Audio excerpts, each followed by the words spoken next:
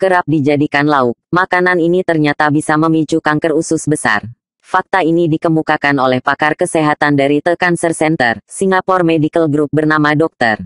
Wong Seng Weng. Menurut Dr. Wong, kebiasaan mengkonsumsi daging, khususnya daging merah, memang bisa menjadi pemicu kanker usus besar.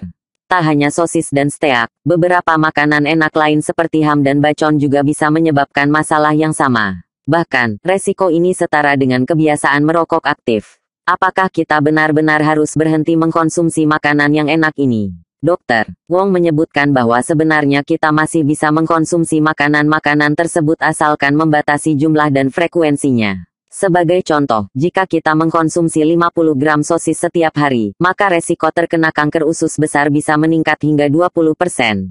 Hal yang sama terjadi jika kita mengkonsumsi steak 100 gram setiap hari.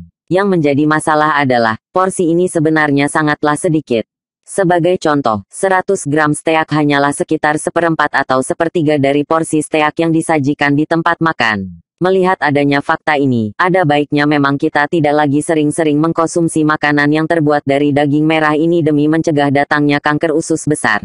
Tak hanya itu, cobalah untuk mengganti daging merah dengan daging yang lebih sehat layaknya daging ikan yang kaya akan kandungan nutrisi bagi tubuh namun tidak akan memberikan efek samping layaknya mengkonsumsi daging merah. Jangan lupa pula untuk selalu menerapkan pola makan yang seimbang agar tubuh tetap sehat.